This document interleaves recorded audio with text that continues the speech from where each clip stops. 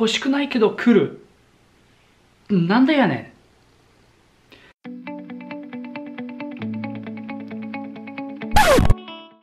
ん。シェフの皆さん、おはようございます。本日皆紹介したいのは、あなたの最大の力ということです。昔ながら僕はその力を知らずも知らずに、しかも逆パターンに全然あったんですだから僕はなんと東京から返されて、そして何が起こったかというと、僕はその学校からの退学して東京から返されて、そしてうつ病になった。うつ病当初は僕はもっとひどくなったのはなんと自殺未遂その自殺未遂当初僕のコーチがやってきてくれて僕を助けてくれたからこそ僕はその知識やその経験を基づいて自分の使命にしたのは同じく700万人の多人恐怖症者を助かることですもし現在あなたは多人恐怖症を抱えている方でしたら最初はこちらの動画をご覧ください。もしあなたは誰とも相談に乗ったりではない人でしたら自分の相談を乗るのはいかがでしょう。それできるのは僕に PM か直接に下の概要欄で僕の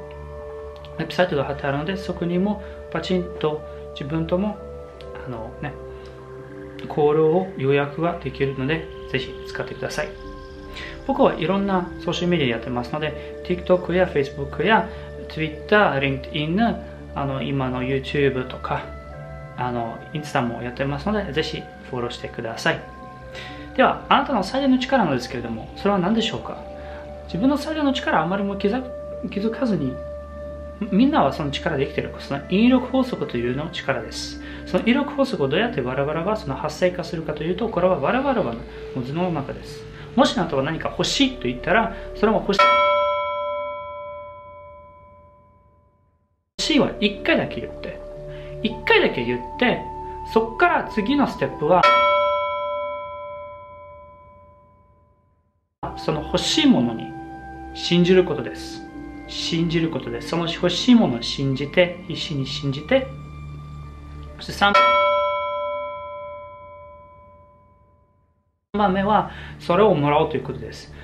どうやってそのものをもらおうかというとこれ欲しいものは当たり前ものになるというとこ。ろこれは頭の中であ当然これもらうよって思ったらこれを当然そうになるよってと思ったらこの時点であなたはそういう欲しいものを手に入れるからです。もしあなたはその法則をあまり信じられないと言ったらまあ最初はね例えばねカップコーヒーが欲しいとか1円とかあの探して欲しいとか、まあ、これはあの普通にこう探したら全然あの、ね、その1円とか、まあ、100円とかねその